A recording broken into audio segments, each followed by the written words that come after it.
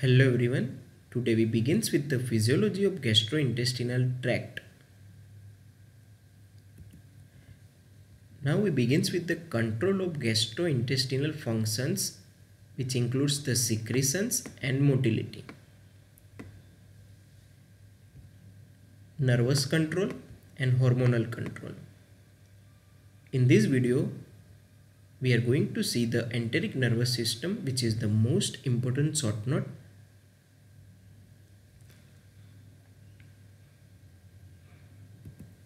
So first of all, we begins with the nervous supply to the gastrointestinal tract. So there are two supplies. There are two types of nervous supply. First one extrinsic supply via the autonomic nervous system and the second one intrinsic supply which is also known as enteric nervous system.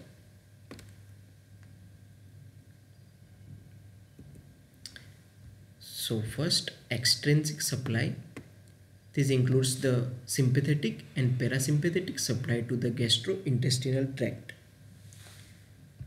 So first sympathetic nervous system fibers from T8 to L2 spinal segments means 8 thoracic segment and second lumbar segment.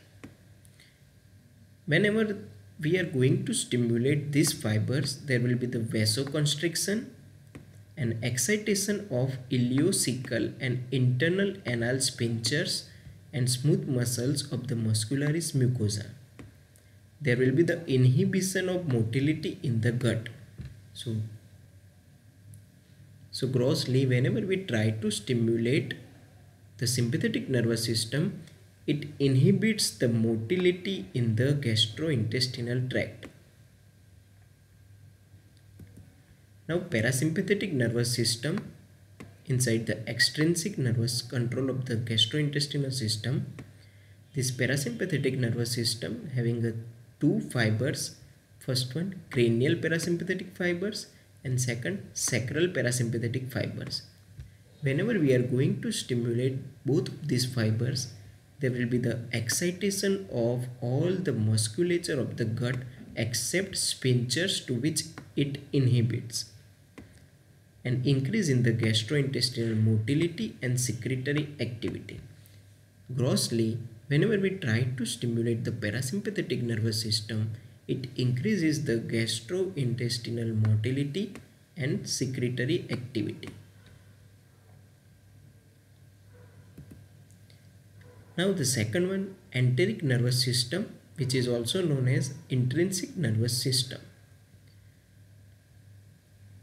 In the enteric nervous system, we are going to include the two plexus of neurons which are present in the different layers of the gastrointestinal tract.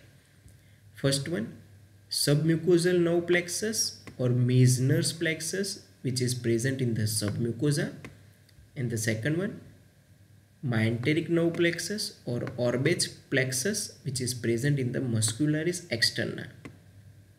This myenteric nerve plexus Inside the muscularis externa, it is present between the inner circular smooth muscle and outer longitudinal smooth muscle. Look, these are the circular smooth muscle on the inner side and these are the longitudinal smooth muscle on the outer side.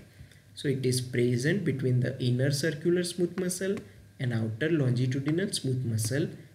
This is the myenteric nerve plexus or Auerbach's nerve plexus and inside the submucosa the networks of neuron which is present it is known as submucosal nerve plexus or Meissner's nerve plexus.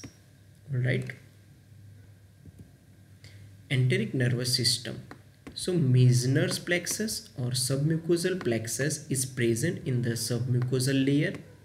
It controls secretory activity and blood flow to the gastrointestinal tract Whenever there will be the stimulation to the Meissner's plexus or submucosal plexus, it controls the secretory activity and blood flow to the gut. Next one, myenteric plexus or Auerbach's plexus. It is present in between the circular and longitudinal muscle fibers of the muscle coat of the gastrointestinal tract. Stimulation of these myenteric or Auerbach plexus, there will be the increase in the tone of the gut wall, increase in the intensity of rhythmical contractions of the gut wall, and it increases in the rate of contraction and velocity of the contraction. So what will be the response whenever we are going to stimulate the myenteric plexus or Auerbach plexus? There will be the increase in the tone of the gut wall, increase in the intensity of the rhythmical contractions of the gut wall and increase in the rate of contraction and velocity of the contraction. So it increase the gut movements Meissner's plexus and myenteric plexus both are interconnected with each other and are under control of sympathetic and parasympathetic component of the extrinsic nervous system. So these Meissner's plexus and myenteric plexus both are interconnected with each other and they are also works under the control of sympathetic and parasympathetic component of the extrinsic nervous system.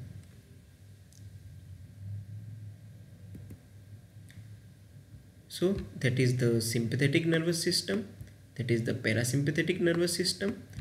Both combinedly forms the autonomic nervous system this autonomic nervous system regulates the extrinsic nervous regulation of the gastrointestinal tract here this is the myenteric plexus and that is the Meissner's plexus or submucosal plexus look at these fibers from the parasympathetic. These are the preganglionic fibers as the ganglions in the parasympathetic nervous system located near to the effector organ.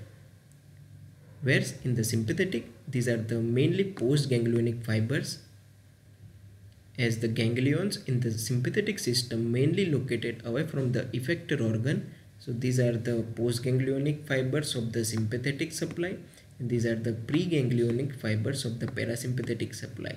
Both are innervating the myenteric plexus and submucosal plexus as well as these myenteric plexus and submucosal plexus are also interconnected with the each others.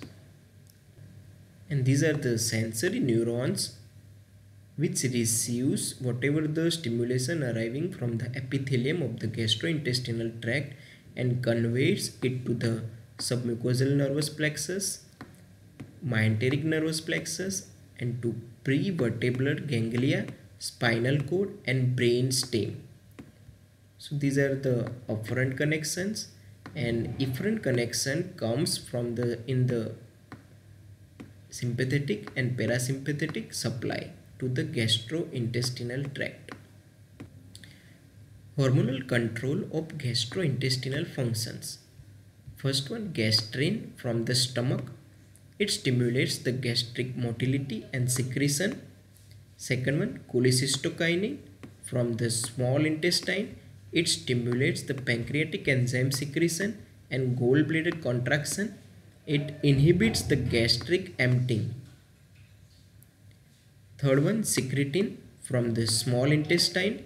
It stimulates the pancreatic and biliary bicarbonate secretion. So these are the main three hormones which controls the gastrointestinal functions. First one gastrin, cholecystokinin and secretin.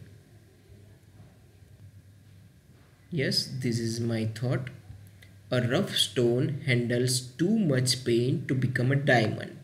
And diamond, this is the immortal soul. So please try to handle the so much pain but one day you will become a diamond and you will shine like a diamond. Always try to remember no pain, no gain. More pain, more gain. Alright? Thanks for watching this video.